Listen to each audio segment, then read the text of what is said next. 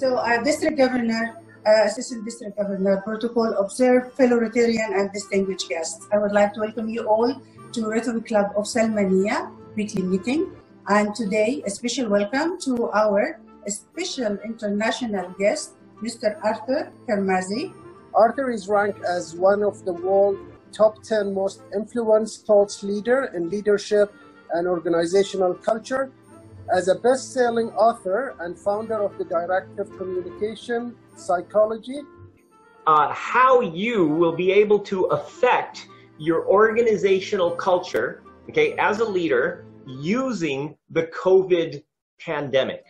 That we could do is to basically help people to feel better about the future. So that if people had that idea, that hope, that they would be more capable right now of focusing on solving problems more creatively.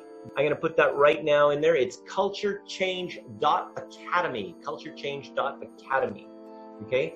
And uh, that is going to give you the um, uh, the list of all the, uh, the the stuff that I was just talking about. Other people, okay, their common sense is totally different, and it's not wrong. It's just different. And because it's different, sometimes what happens is that we just don't trust that. We don't believe that. We don't really think that, that, that this whole thing is correct. It can't be because of that. If they do it that way, it's just going to be wrong. So what happens is that because we have this internal bias, because it is so obvious, it is so common sense to us, um, we end up accidentally creating situations where people essentially end up not feeling trusted so that you can take this test for free. Okay, coloredbrain.com. You sign up to the dashboard and then from there you will input this code that I just put in there to take the test.